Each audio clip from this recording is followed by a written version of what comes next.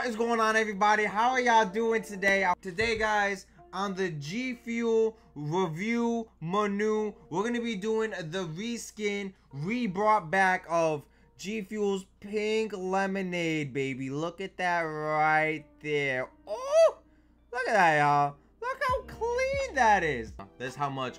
This is how much powder we're gonna be putting into it. That's how much powder pink lemonade we're gonna be putting into the cup right there. Here we go. We're gonna do it like this. You know what I'm saying? Bang. Ooh. Look at that, y'all. Now, it's time to shake what your mama gave you, baby.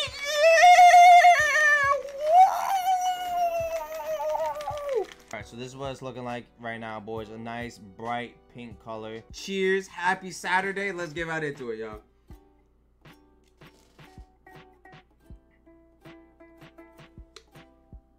That's definitely lemonade. Yeah. It tastes like lemonade, but it's like a it's like a weak version of lemonade. It's not as like pungent or not like a quick punch in your face.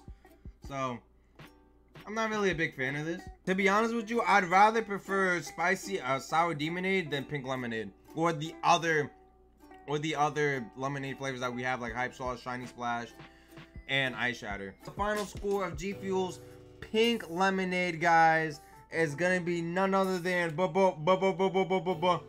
bam. Guys i'm not gonna lie i'm not the biggest fan of this flavor. This is a really weak lemonade flavor. I think all the other lemonade g fuel flavors that they have outshines this one. Uh i'm not i'm not the biggest fan of it. Um I'm gonna have to give this probably I'm gonna give this like a 4.7 to 5 out of 10